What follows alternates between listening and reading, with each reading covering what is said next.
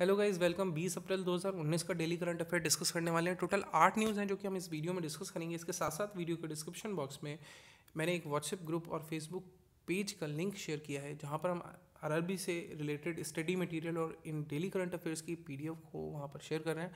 आप भी वहाँ पर जुड़कर इन सब का फ़ायदा उठा सकते हैं। शुरुआत करते हैं पहली न्यूज़ के साथ। Book on Jallianwala Bagh poem Khooni Baisakhi release in UAE थोड़ा सा मैं बता देता हूँ इस बारे में। ये इंटरनेशनल नेशनल बहुत ही इंपॉर्टेंट न्यूज़ है कि जैसा आप जानते हैं, सौ साल पहले लगभग तेरह अप्रैल उन्नीस सौ उन्नीस को जलियावाला बाग, जो कि अमृतसर में उपस्थित है, वहाँ पर बैसाख पर्व पर बहुत सारे प्रदर्शनकारी प्रदर्शन कर रहे थे शांति से।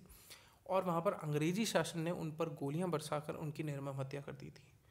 इस जलियावाला बाग हत्याकांड को खूनी बैसाखी एक पोएम जो वहाँ के सर्वाइवर थे, जलियावाला बाग हत्याकांड से जो बच गए थे, उन्होंने अपने शब्दों के माध्यम से लिखा था। इस खूनी बैसाखी पोएम पर बेस्ड एक बुक को आबू धाबी यूएई में लॉन्च किया गया।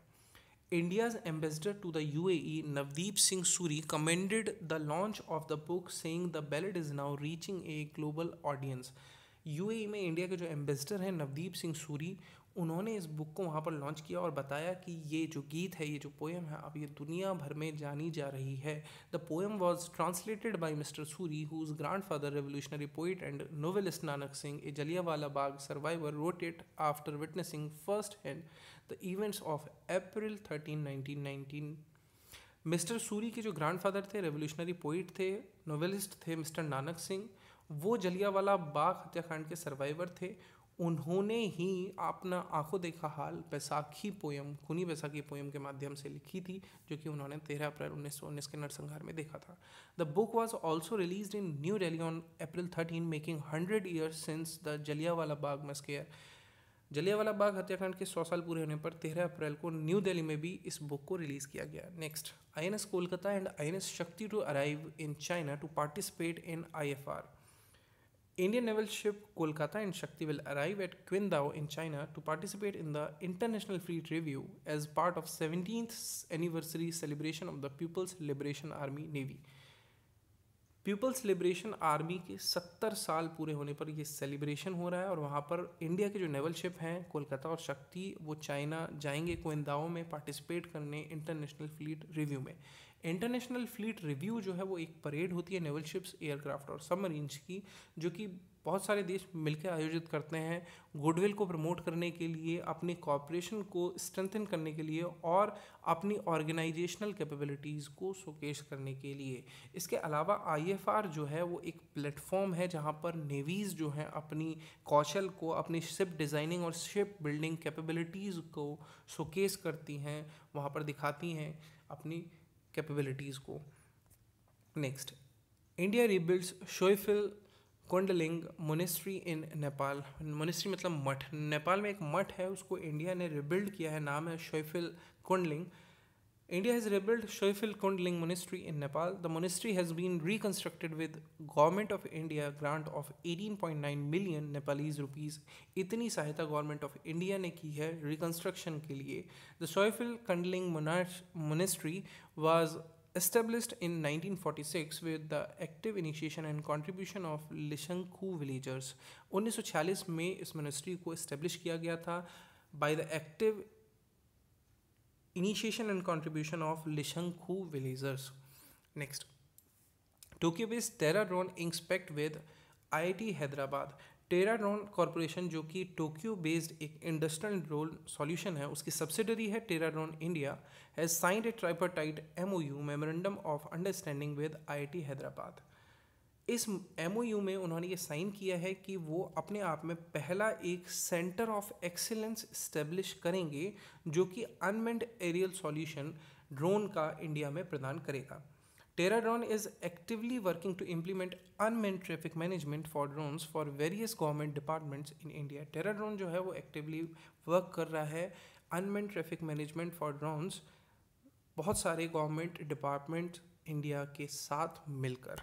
Next Saudi Arabia increases India's hajj quota to two lakh Saudi Arabia has issued a formal order increasing the Hajj quota of India to two lakh from one lakh seventy thousand seventy five thousand इससे पहले एक लाख पचहत्तर हज़ार जो हज यात्री थे, वो जा सकते थे हज करने के लिए, पर सऊदी अरेबिया ने उस कोटा को बढ़ाकर दो लाख कर दिया है अब दो लाख हज यात्री यहाँ से हज की यात्रा के लिए जा सकते हैं the decision will ensure that all the hajj applicants from big states like Uttar Pradesh West Bengal Andhra Pradesh and Bihar can embark pilgrimage this year as their waiting list have been clear due to increase in quota. एक लाख पचहत्तर हज़ार के बाद जितने भी लोग थे, उनकी वेटिंग लिस्ट थी, उनकी नाम जो है वेटिंग लिस्ट में आ गया था। पर कोटा बढ़ने के साथ अब वो वेटिंग लिस्ट क्लियर हो गई है और अब दो लाख हज यात्री यहाँ से जा सकते हैं। The Saudi crown prince Mohammed bin Salman at a meeting with prime minister Narendra Modi has had announced that Indian hajj quota would be increase by twenty five thousand to two lakh ऐसा उन्होंने जो सऊदीया के crown Prince है, Mohammad bin Salman ने, उन्होंने नरेंद्र मोदी से meeting के दौरान कहा था कि वो पच्चीस हज़ार हज यात्रियों का कोटा जो है बढ़ाकर दो लाख कर देंगे और ऐसा उन्होंने कर दिया है, जिसकी वजह से रिकॉर्ड दो लाख इंडियन मुस्लिम्स जो हैं, वो हज यात्रा करेंगे विदाउट सब्सिडी के साथ। Saudi Arabia to host G twenty summit in twenty twenty देखिए, सऊदी अरेबिया की एक और न्यूज़ आ रही है। जी ट्वेंटी समिट जो है, जिसमें कि उन्नीस देश और यूरोपियन यूनियन जो है मिली हुई हैं। तो इन बीस देशों का समिट होता है जो कि 2020 में सऊदी अरेबिया में होगा, उसकी कैपिटल रियाद में होगा। अरब में ये जी ट्वेंटी की मीटिंग जो है पहली बार हो रही है। 2019 में जापान होस्ट करेगा और ये समिट जो है वो उसाका में होगा, जून 28 और 29 को। इससे पहले 2018 में ये जो कॉन्फ्रेंस थी, ये बिनोइज अराइज अर्जेंटीना में हुई थी। The G twenty is made up of nineteen of the world's biggest economies as well as the European Union it was formed in nineteen ninety nine to discuss policy matters and financial stability G twenty का जो formation हुआ था जो establishment हुआ था वो उन्नीस सौ उन्नीस में हुआ था पॉलिसी uh, मैटर्स और फाइनेंशियल स्टेबिलिटी को डिस्कस करने के लिए। नेक्स्ट इंटरनेशनल न्यूज़ है। Seven China international technology fair kicks start in Shanghai China ने इंटरनेशनल टेक्नोलॉजी फेयर, जो कि सातवां एडिशन है उसका, उसको संगई में शुरुआत कर दी है। ये जो है, फोकस करेगा इंटरनेशनल टेक्नोलॉजी ट्रेड पर, और यहाँ पर एक हज़ार से भी ज़्यादा कंपनियाँ और ऑर्गेनाइजेशन जो है इस फेयर को अटेंड करेंगी। और इसके माध्यम से चाइना जो है, वो लेटेस्ट टेक्नोलॉजीज़ जो है वर्ल्ड वाइड उसको शोकेस करेगा। और ये 2013 से सातवीं बार इंटरनेशनल टेक्नोलॉजी फेयर को ऑर्गेनाइज कर रहा है। Deutsche Bank appoints Kaushik Saparia as CEO Deutsche Bank ने कौशिक सपरिया को अपना chief executive officer that is CEO बना दिया है इंडिया के लिए, और वो रवनीत गिल की जगह लेंगे। रवनीत गिल ने बैंक छोड़ दिया था प्राइवेट लैंडर यस बैंक को हेड करने के लिए शुरुआत में ही, इस साल की शुरुआत में ही। सपरिया का जो अपॉइंटमेंट है वो मई 2019 से वो अपने काम की शुरुआत कर देंगे। सपरिया जो है, उन्होंने एशिया पैसिफिक हेड के रूप में काम किया था corporate banking coverage within industrial and treasury coverage में। तो टोटल आठ न्यूज़ थी, ये जो आज की वो हम कंप्लीट कर चुके हैं। 21 अप्रैल के करंट अफेयर्स के साथ आपके सामने उपस्थित होंगे बहुत जल्दी और आप इस चैनल को सब्सक्राइब कर लीजिए वीडियो को लाइक कर दीजिए और व्हाट्सएप और फेसबुक पर भी हमें फॉलो कर लीजिए।